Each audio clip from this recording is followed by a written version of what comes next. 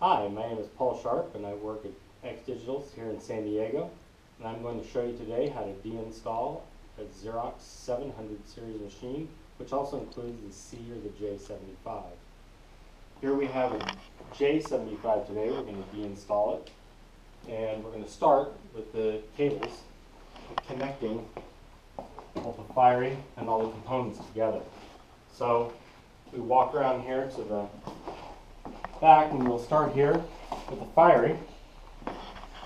The Fiery has normal standard computer components, but it also has a data cable here which connects it to the machine. We're going to unscrew the thumb screws. Just going to remove it here.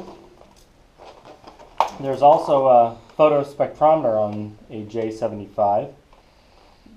This is removed here with a couple of screws. We just unscrew with a little screwdriver. On a 700, they're not going to have that, right? That's correct. The 700 will not have it, but a 770 will. So we unscrew that and that comes off right here. I'll set that down. We'll walk over here. This is the uh, back side of the printer here. And we will take the thumb screws and remove the data cable which connected the Fiery here. We're also going to take off this uh, crossover cable. This uh, enables the scanning. We have a, uh, a cable right here. This is for the UI. We're going to take this off the card cage, thumb screws as well. Let that drop. And we have a cable here. This leads up to the scanner, and we're going to remove its thumb screws as well. You'll also want to take it off the back of the scanner. You don't want to leave any cables hooked up. It can cause damage to the cable and the connector during shipping. So we'll just take these off of the printer and lay that up there. The last two cables we need to disconnect here are for the feeder. There's one here. You, you just depress in here in this connector and that releases it. And there's another one here. There's a depression. You press it down and pull just like that. And that's off. Over here, you'll notice the same types of connectors. This is the back side of the. The other side of the, the printer, uh, where the power comes in at, we're going to remove the power.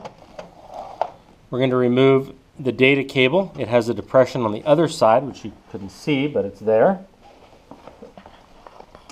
The data cable here. And for this purpose, I've actually removed the cover, which normally sits here, to show you where the power cord comes in here into the interface module. And we'll remove its power right here. And a data cable right here, which leads into the finisher, which I'll show you where that leads into in a second. I'm also going to remove the power to the finisher now. All right, now we've handled all the uh, connections on the back side. We'll walk back around to the front.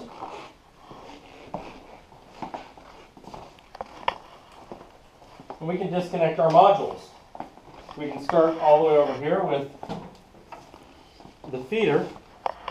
The feeder, we open up the narrow door here adjacent to the printer. And there's a rail with protrusions right here you can see. And on the rail, you'll notice there's a, a, piece of metal with a little hole in it. This is actually a catch, and if you press in on it firmly, it goes in and releases or undocks itself from two pins. Now, with it held in, you simply give the feeder a little nudge, and it comes off of the printer. Now we come over here and we're going to disconnect the, the finisher. We open up the narrow door on the finisher. And way up high, you'll notice underneath the shaft and bearing, you'll notice a, a little protrusion right here, a piece of metal. I have my finger behind it. It's right above this 1B. It's right here. And if there's a screw in here, you may have to remove it. Most of the time there's not. And we're going to take this and we're going to pull it toward us. Undocking it with it held out, we're simply going to push it away from the unit and it comes off. Lastly, we're going to disconnect the interface module. We'll open up its door. And it has a little lever right here. You put your finger behind it. Sometimes there's a screw right here that's holding it in place. You'll may have to remove that.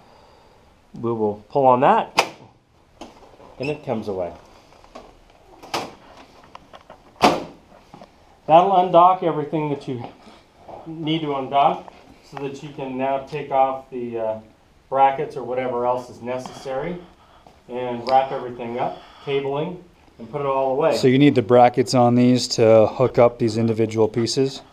Yes, and these uh, bra- brackets can bend fairly easily, so you'll want to remove the brackets. There's two screws for this bracket. There's four screws for this bracket, located one, two, three, and four. That'll remove this bracket. And there's a- another bracket here on the other side for the finisher. It also has one, two screws. Lastly, for shipping, if you're going to be moving this printer, you'll want to remove this conveyor.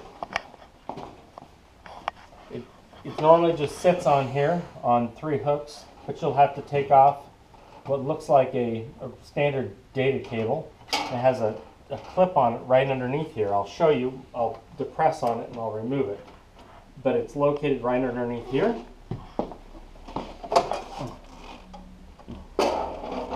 and you press down on here, you remove the data cable.